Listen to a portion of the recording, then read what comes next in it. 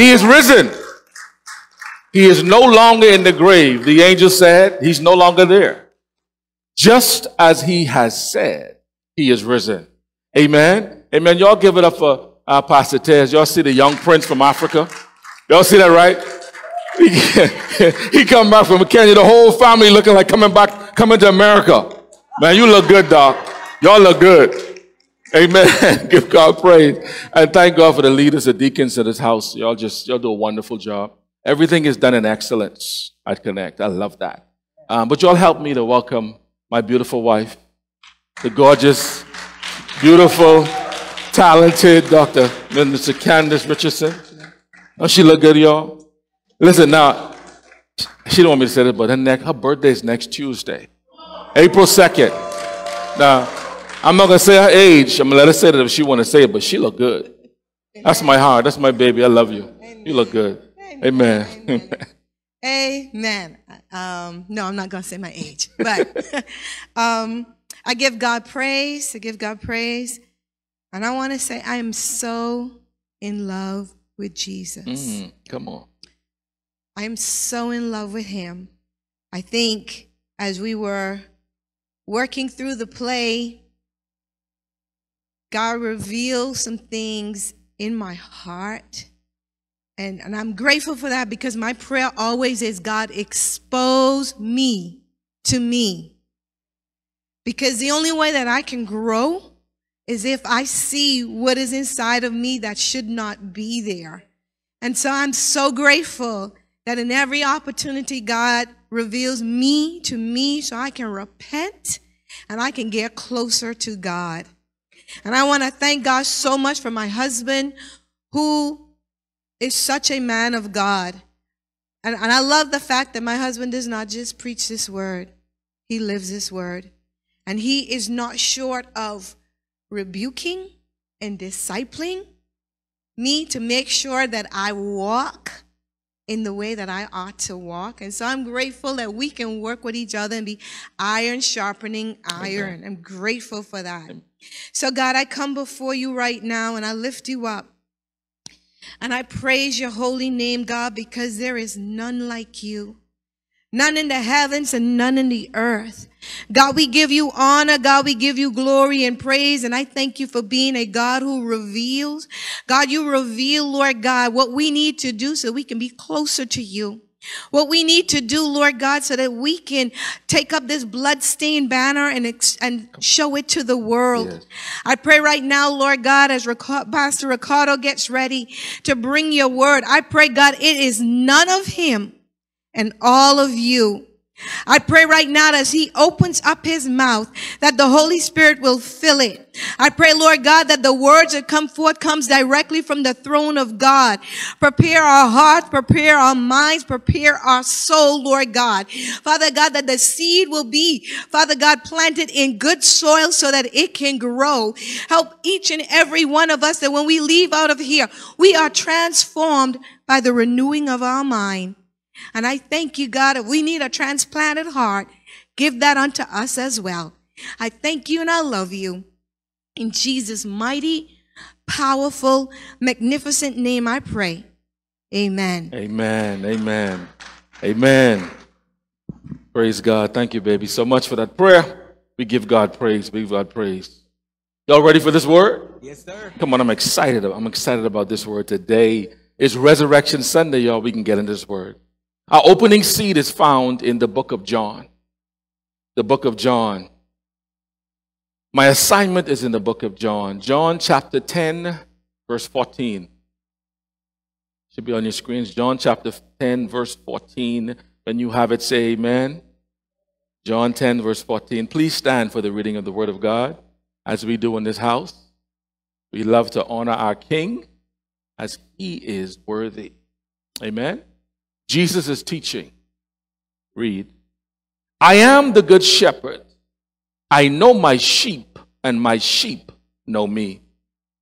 Just as the Father knows me, and I know the Father.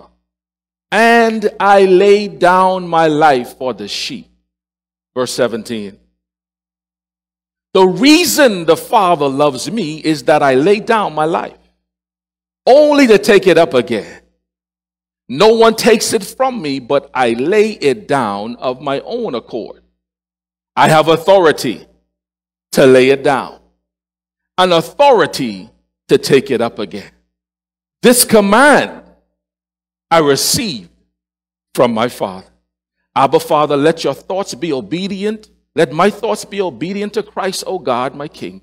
Let my words be the word of truth, Father, and let the way be the way of the kingdom. In Jesus' name, amen. Please be seated. Please be seated. Please be seated. Amen. Get comfortable. Get comfortable. My subject today is to answer the question of the why of the cross. So I'm going to give an open book test today. So grab your pens and take good notes. I want to begin with a thought. For you to think of this one thought, this question, this one thought. Why was Jesus resurrected? This is Resurrection Sunday. And all over the globe, there'll be people talking about the resurrection. There'll be biographies and biopics and interviews and debates on TV whether Jesus arose from the dead. But there are historical writings, eyewitness accounts about the resurrection, validating the resurrection. Go with me to this text. Look at Matthew 27, verse 30, verse 50, sorry. Matthew 27, verse 50. This eyewitness account will blow your mind. Picture this, verse 50. And when Jesus had cried out again in a loud voice, he gave up his spirit. At that moment, the curtain of the temple was torn in two from top to bottom. The earth shook, the rocks split, and the tombs broke open. The bodies of many holy people who had died were raised to life. Is that in your Bible? Are we reading the same Bible? They came out of the tombs after Jesus' resurrection and went into the holy city and appeared to many. When Jesus gave up the Spirit, those that were dead in him came to life. The tombs broke open, but they waited in the tombs until he was resurrected. Y'all miss it. When Jesus was resurrected, they got up out of the tombs and went into the city to testify the resurrection. Y'all tell me when God give you eyewitnesses, he give you eyewitnesses. Come on, somebody. But my focus is not the what today. My focus is the why. See, many of us are quick to ask God why about our situations. Come on, y'all know about trials and temptations and stress and issues we go through. We always asking God why. Why am I going through this, God?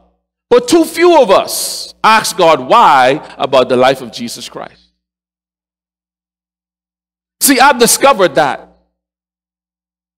to know the why of Jesus Christ is to know your purpose. See, when you understand the purpose of Christ, of Christ, then you could understand your purpose in Christ. We are going to answer the purpose, the question of purpose of Jesus' resurrection for those for the purpose of his birth, his death, and his resurrection are inseparable as it relates to the impact our king had on the kingdom. The greatest gift God ever gave us was life. Would you agree? Sure. The greatest gift God gave you is your life. That's a gift from God. God told the prophet Jeremiah, Before I knew you, how you was in your mother's womb, I knew you, and before you were born, I set you apart to do the work. Doesn't that sound or speak to the hand of a loving father on us from birth? He has his hands on you from birth. But listen, your life is no mistake. You are a gift from God. I don't care what no one else tell you, you are a gift from God. God always had his hands on you. King David says, For you created my utmost being. You knit me together in my mother's womb. Y'all hearing the confirmation?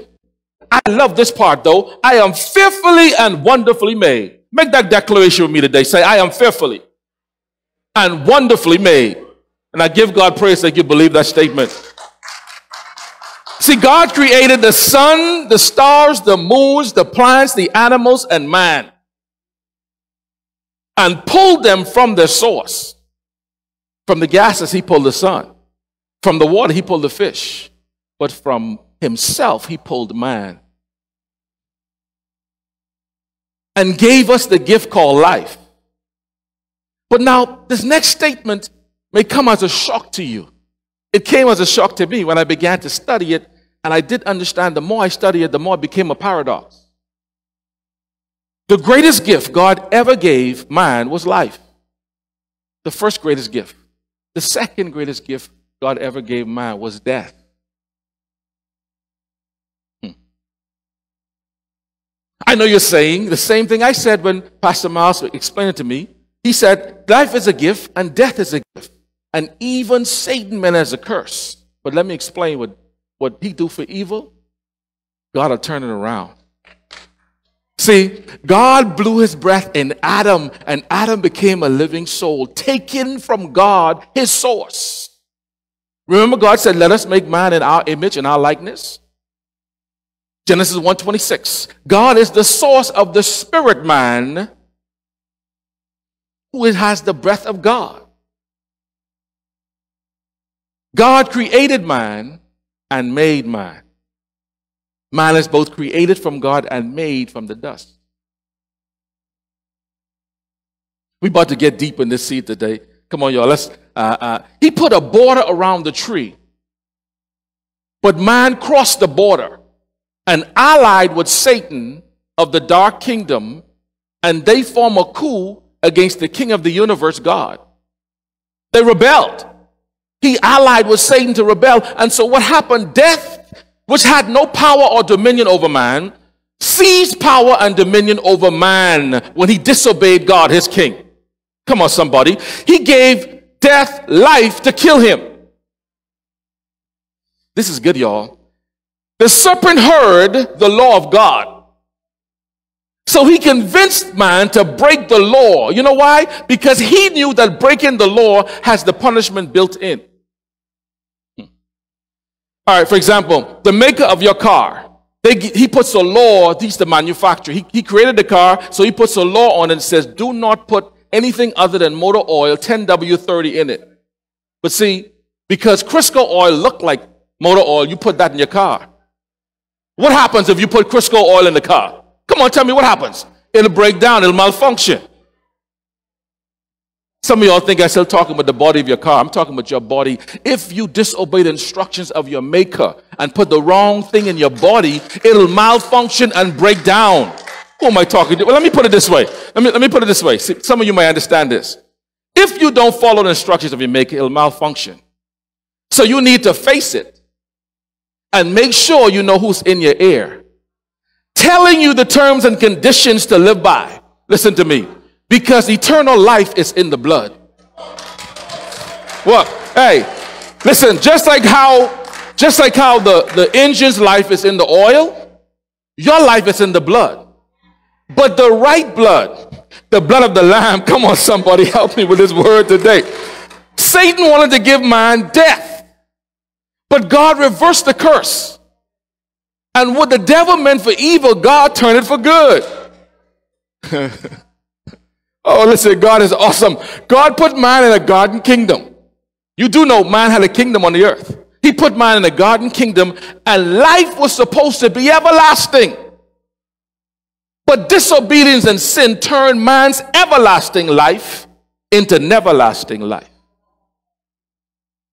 All right, this soil is about ready for this seed right now. Go to John 10, John 10, verse 18. Ah, listen to the words of Jesus. He says, The reason, everyone said reason.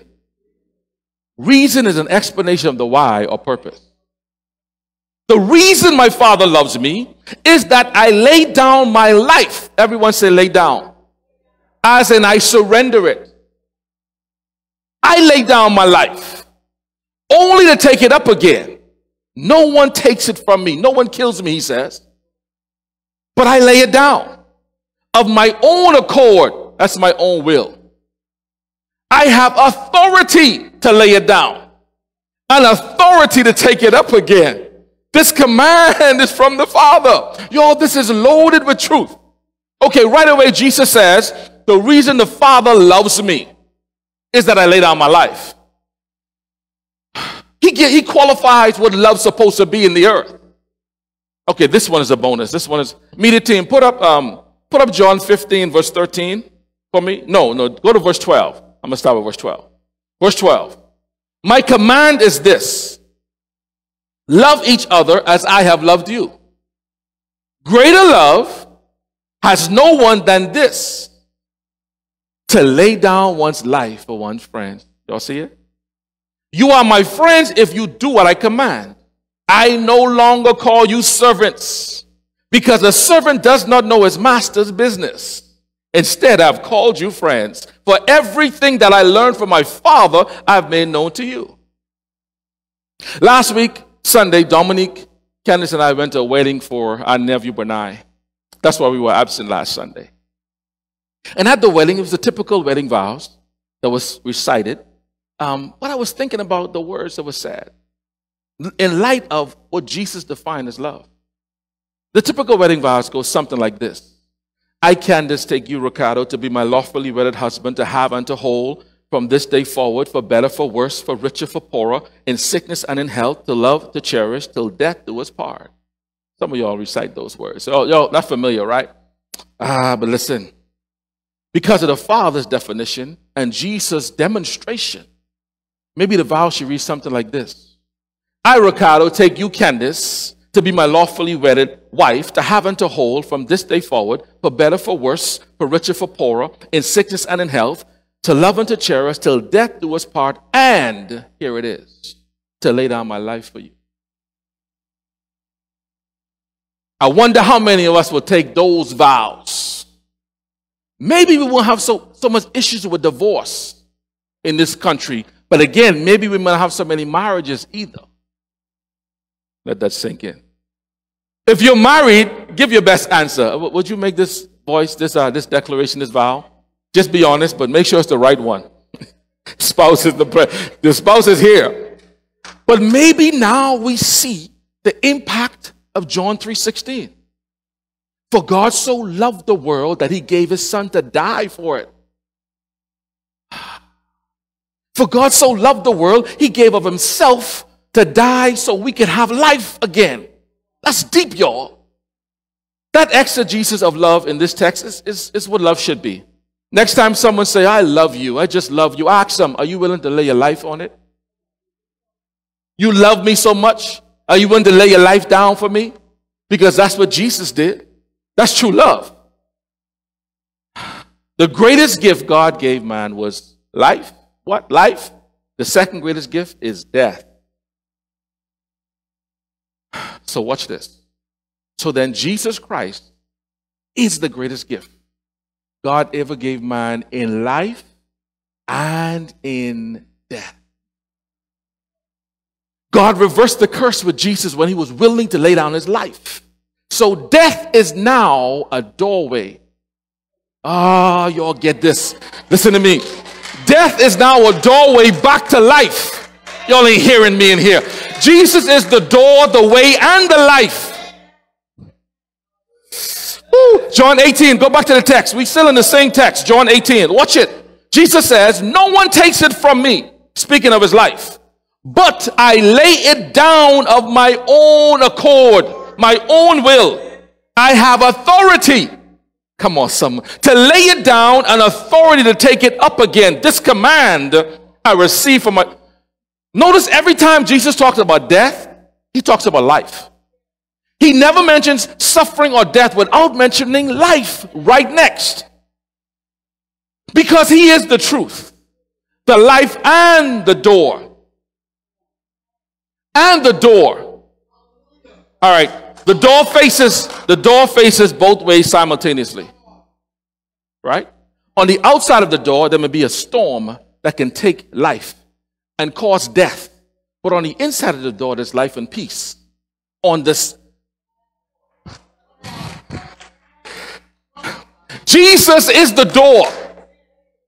He is the door, but he's not just the doorway for to life again when death comes. He's the door of authority. Did you get it?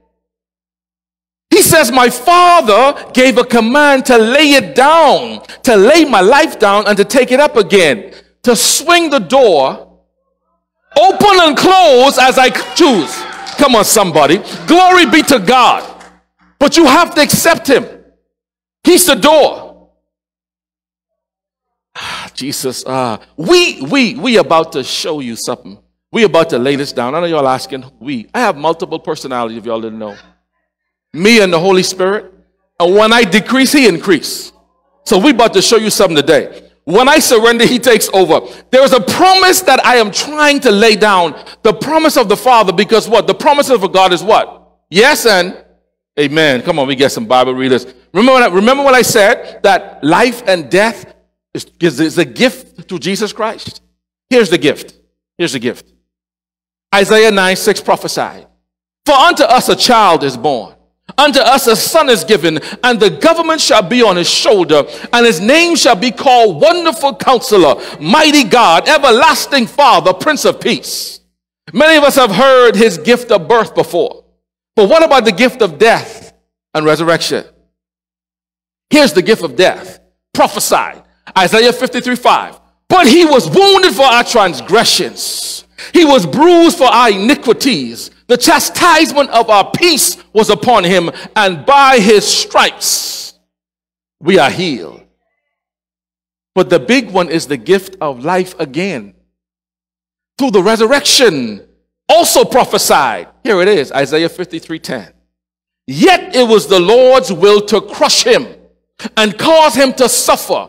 And through the Lord, and though the Lord makes his life an offering for sin, a guilt offering, he, Jesus, will see his offspring and prolong his days. That means even though Jesus died, he will rise again to see his offspring, the ones redeemed back to God. God promised me, Jesus says, if I lay down my life as king, I can take it up again as king, and I'll see my offspring, the ambassadors in the earth of Christ, when I raise.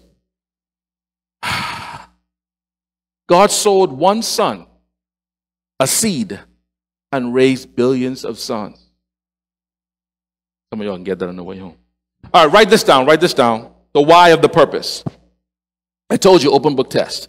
Number one, the resurrection was proof that Jesus solved man's problem of sin. The wages of sin is death. Romans 6:23. Jesus had no sin, so death had no authority to kill him. Number two, the resurrection was proof that Jesus conquered and took death, took power back from death. Death has power, y'all. The majority of the people in the world are afraid to die. They are afraid of death. Come on, y'all know the truth. Death has power to shut your eyes and your ears permanently and render you immobile. If you don't believe me, you go to a wake of your loved ones and try to talk to them. They won't respond. Because death has that kind of power over them. But I always wonder why they call it awake. Jesus was the only one that went to a wake and raised and wake the man, Lazarus. He, he go to awake and he showed up to wake someone up. Hallelujah. Glory be to God. Number three, the resurrection was proof that Jesus reclaimed authority, the authority of man in the earth. The religious leaders asked Jesus, Where did you get all his authority? They was baffled. Where did where'd you get all this authority? Jesus says, I'm gonna ask you one question. I ask you this question, you answer my question, I'm gonna answer yours. John's baptism, was it of heaven or of man? They couldn't answer. They didn't want to answer because they knew they would err. So Jesus said, Neither will I tell you where I get all this authority. But let me tell you, in Genesis 1:26, God said, Let them. When God used that pronoun, them have dominion, he transferred his authority from himself to man. He never transferred his power. All power, absolute power belongs to God, but he transferred his authority to the man in Genesis 1:26. That's what Satan was after, the authority. He can't get he tried to take God's power and was evicted. So he said the next best thing is the authority. Come on somebody. Uh, listen, God never moves in the earth without going through a man. Let me prove it to you. In order to save Israel, he moved through authority of Moses. In order to save the world, he moved through authority of Jesus. I, I, want, I work this seed. I want to work this seed. Number four, the resurrection was proof that Jesus is the Christ. This the one. This the one that everyone had issue and problem with. The Pharisees, the Sadducees, the teachers of the law, they went to the Romans to use this one to help them crucify Jesus. This is the issue. See, they had no grounds to put him to death. Because when Jesus told Pilate, even you have no authority, Pilate. And Pilate was the governor of Roman government, the most powerful military might ever in the history of the world. Jesus told him, listen, Pilate, you, you have no authority over me. If I want to dispatch legions from angels from, from, from heaven right now, they'll come and wipe this place out. You have no authority, so do your job. That's what you're here to do. Come on. Jesus was in total control. Don't ever think that they took his life and they, no, he laid it down. He surrendered it. He has power. He's king. Nobody took it. He's the Christ. That's the problem. The word Christ in Greek and Hebrew is transliterated. It means lost in translation as anointed one, but it's much more deeper than that. He was the anointed Jewish king in the line of David, but but the order of Melchizedek to miss this. He was in the line of David. The scepter shall never depart from Judah. He will have an everlasting kingdom. So he was in the line of King David. So they knew he was a king. But he was of the order of Melchizedek, the high priest and king of Salem or king of peace. Come on, he was ordained by God to be in this position. Ooh, listen. The first the first anointed man was Moses, anointed by the Holy Spirit to carry out the administration of Israel. And then 70 elders in Numbers 11 all fall under the Holy Spirit to help him administer Israel. Tell me what religious organization you know have an administration. Now, which government? Governments have administration. Moses was given the power to administrate Israel. And then the next anointed king was Saul, who was the king of Israel. Jesus was anointed to be the king of kings, the Christ. This was the issue they had. This is the issue they had. So we started with a question, the why of the cross. The why of the, why was Jesus resurrected? Jesus answers this with a question. I love when Jesus asks a question. He always, he know he's going. He wants you to know what you're asking him to figure it out by your answer to his question. We are about to bring this together. Look at Matthew 16, verse 13. I had to set this up so we understand where we're going. Matthew 16, verse 13. When Jesus came to the region of Caesarea Philippi, he asked his disciples, Who do people say the Son of Man is? Oh, we get into it right now. We get into the point right now. Watch this. This question was so important because Jesus is coming to the end of his ministry. He wants to make sure they get it. If anyone have to get it, it have to be the 12 who's following me. Now the others may not get it, but they have to get this before I go back to the Father. This is important. Why? Because who I am qualifies me to do what I'm called to do. Ah, y'all missed that thing. They replied, Some say John the Baptist, that's a prophet. Some say Elijah, another prophet. Some say Jeremiah, still another prophet, another the prophets. Prophets cannot have a kingdom. Ah, come on, somebody. Jesus ignored them. And he said, What about you? What do you say? Because he knew you can't qualify me as a prophet because I'm a king. I was born king, died king, rise king. Watch this. Who do you say I am? He want to know what their thoughts are. They didn't know. They still didn't know. Simon Peter answered, You are the Messiah, the Son of the living God. Jesus replied, Blessed are you, Simon the word Simon means listener. Blessed are you, listener, because it didn't come from flesh and blood. Don't take credit. It didn't come from you. God gave it. You listened to God and He gave you the answer. Upon this rock of you listening by faith to God, I'll build my church. Don't think it was built on Peter the man. It was built on the faith that he heard from the king. Okay. All right. I will build my church.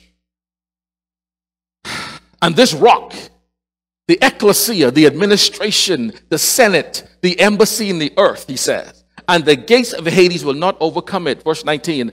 I will give you the keys of the kingdom of heaven. Whatever you bind on earth will be bound in heaven, and whatever you loose on earth will be loose in heaven. Then he ordered his disciples not to tell anyone he was the Messiah. That's it. Now we have to cover up the seed. We almost done covering the seed up. Isaiah prophesied Jesus was the one born king. Isaiah prophesied Jesus was the one who died king, confirmed by the Roman governed Pilate. When, when, when Pilate crucified him, he didn't want to do it. He, he still put a sign up over the cross. Remember that? The sign says, Jesus of Nazareth, King of the Jews. In Aramaic, Greek, and in Latin. Why? Because he wanted everyone to know. The chief priest said, Don't put that. But he said he was the king of the Jews. These people hating still. Pilate said, What I've written? I have written. His birth, death, and resurrection, y'all are all prophetic. My assignment is almost done. My assignment is almost done. the fact, though, that Jesus' entire life was a prophetic manifestation. We get into the why. Follow me. In other words, the testimony of Jesus Christ is the spirit of prophecy. Revelation 9:10. We just we just showed you, Isaiah showed you his birth, his life, his death, and his resurrection was prophesied. And he also said, When I die, I'll get up again. When I lay it down, I'll get up again. Hmm. Everything he did was foretold. Remember the promises of God are what? Yes, and Jesus is the Amen. Revelation 3:14. Now, as I close, I want to show you the ultimate purpose of the resurrection, the why. Listen to this verse, and I will take my seat. Book. Listen to this verse. Matthew, no, Luke, sorry, Luke 24, 46. Luke 24, 46. Then he said to them, Thus it is written, that means it's a law. And thus it was necessary for the Christ to suffer and to be raised from the dead the third day. Jesus even tell you how long he's going to be in the grave. And that repentance and remissions of sins should be preached in his name to all nations, beginning at Jerusalem. What should be preached? Repentance. The kingdom of God is here. Repent, for he's here. And you are witnesses of these things. Behold, I send the promise of the Father. Everybody say promise. The what? the promise of the Father upon you, but tarry in the city of Jerusalem until you are endured with power from on high. Adam lost this power, y'all. But Jesus is about to give it back to us again. Blessed be the name of the Lord. Uh, listen, remember the promise in Genesis 3.15? Here's the promise. Let me remind you. The seed of the woman, Jesus will crush the serpent's head, which means authority. Satan took the authority. Jesus says, The seed of this woman will crush your head and take the authority back. Uh, from Adam and give it back to man. Adam lost authority. He didn't lose a religion. All right. He lost relationship with the Father and his personal relationship with the Holy Spirit. The governor that governed his life the purpose of the cross and the purpose of the resurrection is to bring back what Adam lost. That's restoration. Man didn't lose a religion, man lost a kingdom. His rulership and his authority in the earth as co regent with God Almighty. Oh, God. Acts 1 8. In Acts 1 8, we discover who the promise is. Not just what the promise, the promise was to bring back the kingdom, but there's a who attached to this. Ah, y'all get this, get this, get y'all get this. After Jesus is resurrected, he meets with his disciples and tells them, Go into all the nations, baptizing in the name of the Father, the Son, and the Holy Spirit. Okay, one more scripture, one more scripture. This is the why. Acts 1 8. But you will receive power when the Holy Spirit has come upon you. And you will be my witnesses in Jerusalem and in all Judea and Samaria and to the end of the earth. There's a kingdom with no borders. This is why Jesus had to die on the cross to be resurrected again, so that the Holy Spirit can be restored to man again with power that Adam lost to operate in the kingdom of God here on the earth. Help me, somebody. My time is up. Uh, the seed is in the ground. The Holy Spirit is delivered back to man by Jesus the King to again be the governor of man's lives in the kingdom of God. And now the kingdom has no borders. And the Holy Spirit is everywhere at the same time. When Jesus told the disciples, You want me to leave? I know I'm walking with you now, but you want me to go because you know what? The Father's going to send the power of the Holy Spirit that'll be with you always. And not just be with you, but be in you. In you. Come on, somebody. He, he is the why of the resurrection. Stand to your feet. Everybody stand to your feet. Ah, glory be to God. Glory be to God. When Adam disobeyed God, he essentially committed treason. Jesus came to redeem and to restore and release the Holy Spirit to all men in the earth in Decatur, Georgia, in Kenya, Africa in Nassau, the Bahamas, in Beijing, China, in Toronto, Canada, in New Mexico City, Mexico, all over the world.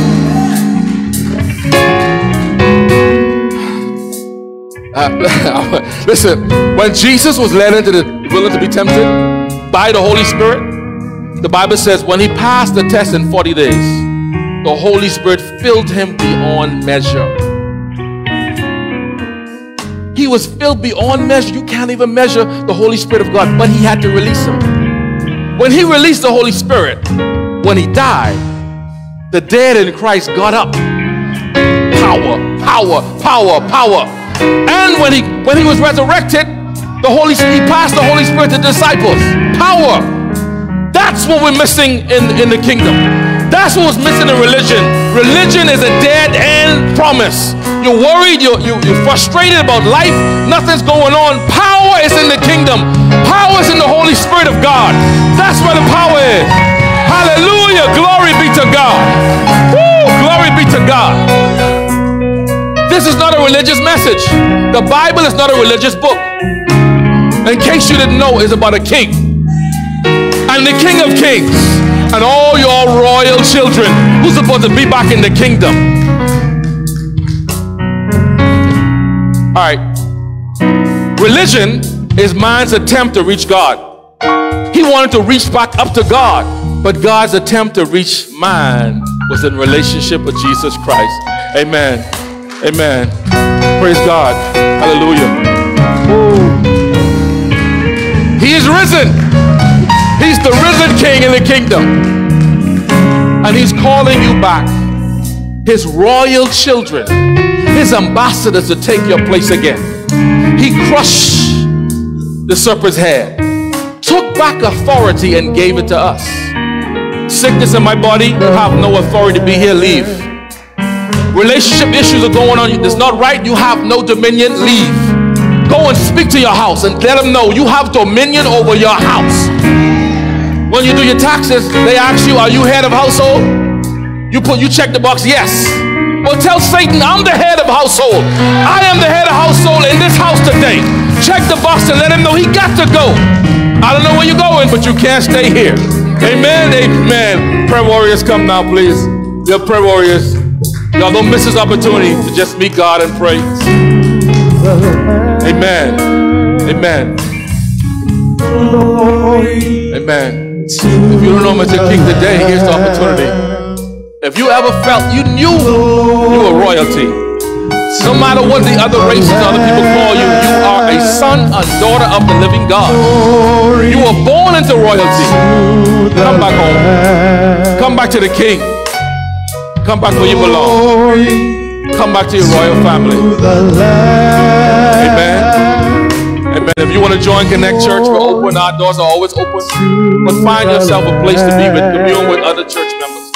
It ain't the building, it's the family, it's the connection. He said, My church is my ecclesia.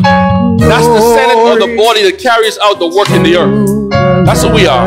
So come on home. Amen. Amen.